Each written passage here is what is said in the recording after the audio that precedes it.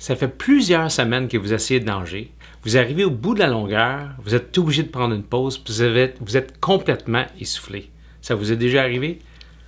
Voici le vidéo pour vous.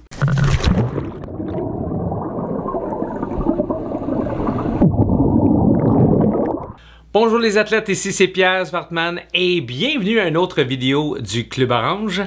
Euh, notre but c'est de vous informer, de vous motiver à pratiquer ce beau sport qu'est le triathlon. Si ce n'est pas déjà fait, abonnez-vous.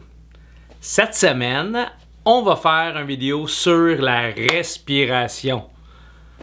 Très important, la respiration, c'est la base de la natation. Si vous n'êtes pas capable de respirer, si vous n'êtes pas capable de faire un bon, bon échange d'air, ça ne fonctionnera pas. Vous êtes obligé de prendre une pause. On s'en va à la piscine.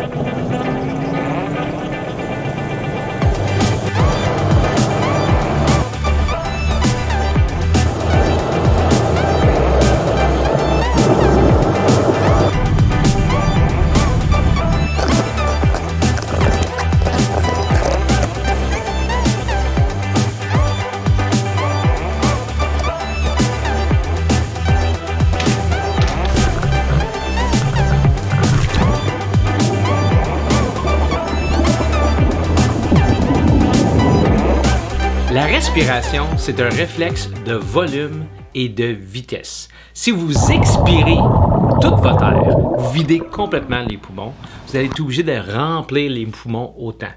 Si vous expirez seulement un petit peu, mais quand vous allez vouloir inspirer, il va juste rentrer un petit peu d'air. L'autre chose, c'est que la respiration, c'est un réflexe de vitesse. Le plus que vous poussez votre air rapidement, le plus que vous allez être obligé d'inspirer rapidement. C'est la même chose si vous expirez tranquillement, vous êtes obligé d'inspirer tranquillement. Donc, la clé de la respiration, c'est d'aller avec votre effort. Si vous voulez rester relax en natation et détendu, expirez tranquillement, mais avec un bon volume d'air. Mais pas nécessairement en continu, c'est pas obligatoire. L'affaire le plus important, c'est le timing.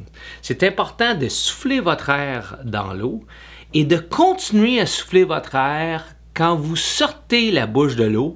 Gardez la bouche ouverte, puis l'air va rentrer tout seul. Donnez-vous une image.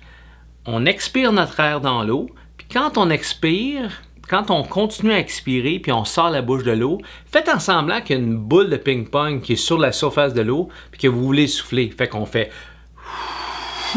et on pousse la balle de ping-pong avec notre air. Ensuite de ça, l'échange d'air va se faire comme il faut. La plupart des amateurs, qu'est-ce qu'ils font? C'est qu'ils expirent dans l'eau. Quand ils sortent la bouche, la bouche est encore fermée. Fait que vous faites